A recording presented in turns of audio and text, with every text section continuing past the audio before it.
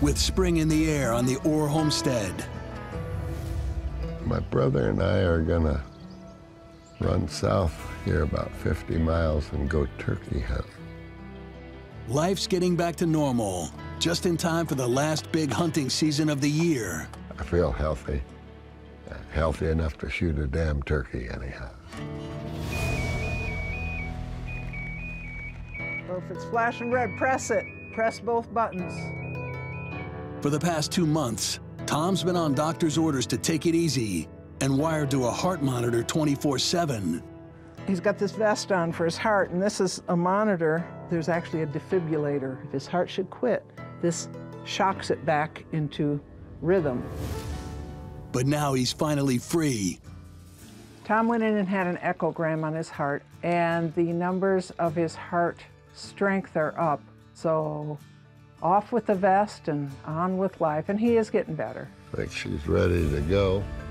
It was real neat to get rid of that life vest that I wore because now that it's gone, I can do my own thing. Hey, how are you, buddy? I'm okay. Looks like a nice day for it. Any day's a nice day for it. You're a man after my own heart. All right. I got the necessities. All right. I bet you're glad to get rid of us, huh? I think it's going to be a great time, you guys going. All right. All right, baby. May. We'll be back with the turkey. You guys have fun. Get that cornbread dressing ready. All right. Be Love ya. safe out there. Love you.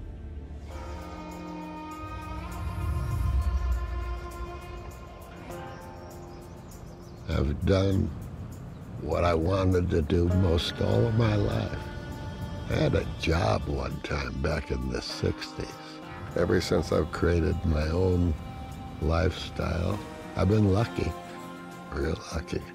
Let's go shoot a turkey. Yeah.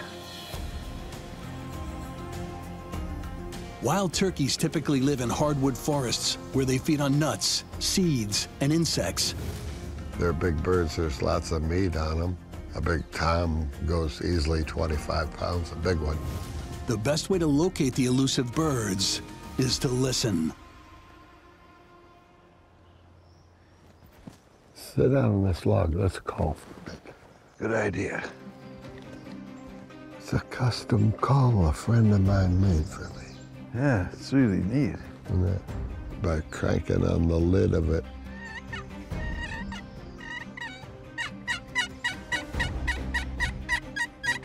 It makes the imitation of a of a hen turkey looking for a mate. Usually the best time to use it is in the spring like this. Yeah.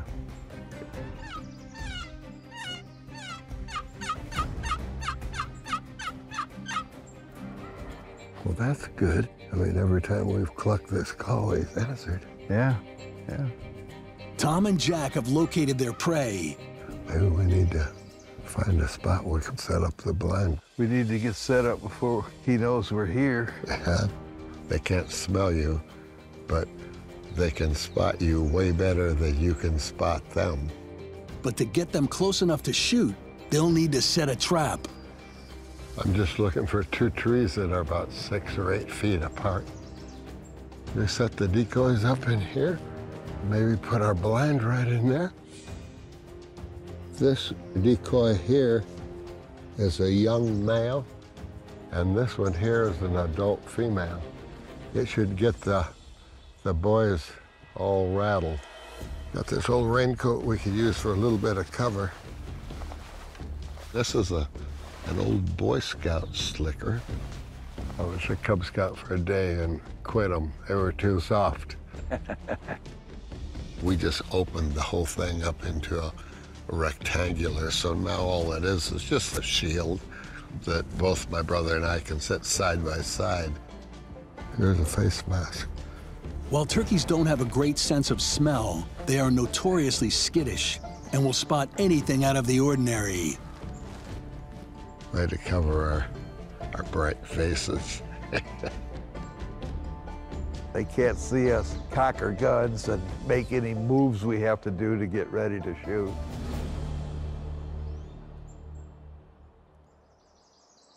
My gun is a single barrel Iver Johnson, probably as old as what I am. And the gun my brother was using is twice as old. The gun was made about a 100 years before I was born by a guy that was the designated gun maker to Queen Victoria. I don't like guns that are made after I was born. You ready? Yep, I'm ready.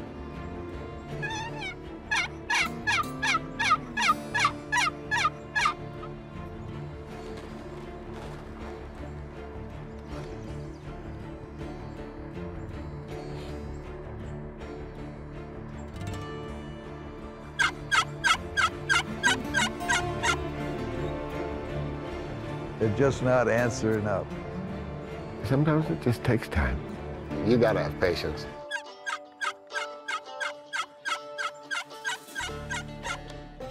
You've been sitting there behind this blind for hours and hours. You want it to finally pay off, you know.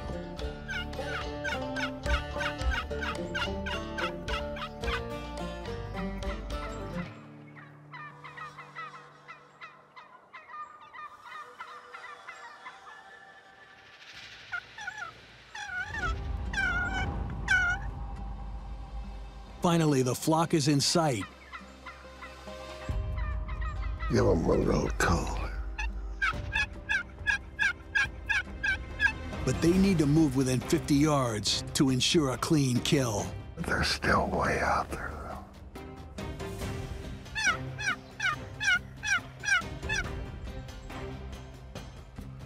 They're all kind of hung up right here. Behind that red dirt pile.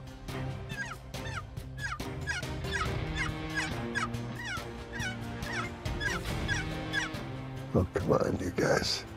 Bunch of them went behind the mound. Them turkeys all went kind of behind it, and they go out of sight. They're coming closer. I think we should shoot. Well, maybe we better take them. Ready? Ready. One, two, three. Ah. I got two of them. Doesn't look like we're gonna have to chase them either. It took a long time to get a damn turkey. The object was for both of us to get one. We had to wait until there was enough of them there to where we could both get a shot. Here's the bird. Congratulations. Yeah, same to you, bud. The beauty. Look how pretty. What a nice bird, huh? Yeah.